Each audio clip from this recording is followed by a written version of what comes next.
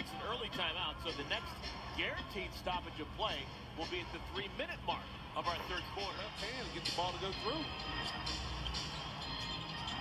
White finds Nick, easy two. That's nearly thrown away. Shot clock at seven. Shot clock's down to five.